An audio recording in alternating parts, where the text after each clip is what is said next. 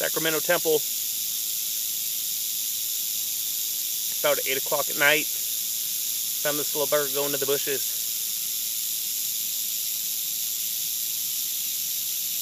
Yeah, he's not very happy.